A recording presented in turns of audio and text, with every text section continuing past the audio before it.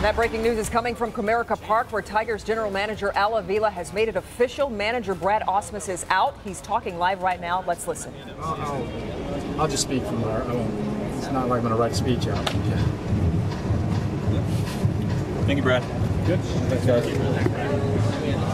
Always happens on live television. We'll let our crews get ready for a moment and we can repeat exactly what happened. Bernie, we'll toss it to you. I know you're ready to go. What did he say? Yeah, well, Brad Ausmus is not going to be back as manager of the Tigers. That's four seasons here. He made the playoffs in his first year, but he is out. The decision was made several days ago. He said he's known about it for a couple of days, but he is going to stay on as manager and finish out the year with nine games left. We've got highlights of the Tigers. They took a team picture today, and Brad Ausmus was part of the team picture along with Chris Ilitch, who, of course, is running the organization now. But Al Avila made the decision, and a short time ago he explained it.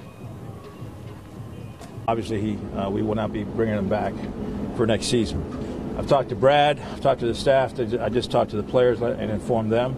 Um, uh, Brad will stay on for the remainder of the season, which is October 1st, obviously, along with the staff, and uh, and work throughout the end of the season. I'm completely comfortable with it. I've, I've enjoyed my time thoroughly. You know, I think Mike and Marian Ilitch and Chris Ilitch, they've been tremendous to me as a player and now as manager?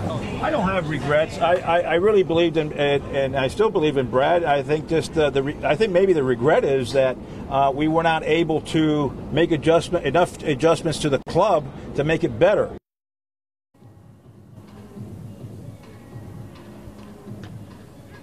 All right, that is Al Avila. Uh, so the decision's been made. Brad Ausmus is going to finish his fourth year here, but that is going to be it. And then, of course, there's probably going to be a complete cleaning here, and Al Avila will bring in his uh, manager and uh, his entire staff. So everything's going to change here at Comerica with the Tigers. But uh, the story today is Brad Ausmus will not be back for year five with the Tigers. Karen, Kimberly, back to you.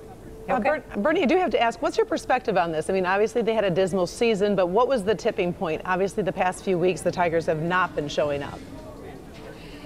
Well, I, I think really the truth is they're going into a, uh, you know, a, a young team. They're rebuilding, and I think they just want to get somebody else in who hasn't been here at the high of the heights. I mean, he didn't make the playoffs the last three years, but the first year was there. He had superstars everywhere, and that's not going to be the situation here uh, for long and the way it was before. So I, I think that's really they just want their own guy to build from the ground up.